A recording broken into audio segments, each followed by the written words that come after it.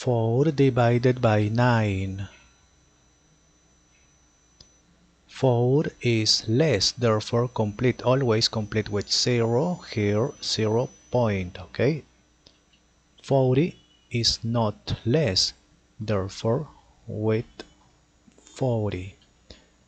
9 multiply by which number is nearest to 40 but not greater 9 multiplied by 5 45 is greater. Multiply by 4 36 okay it's not greater. 40 minus 36 is 4 next there is not number therefore complete always complete with 0 point is here zero 0 point.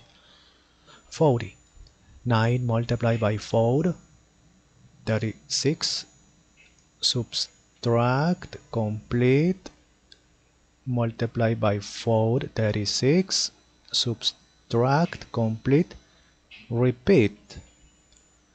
Therefore 4 repeat. Finish. 4 repeat. Therefore like this. Finish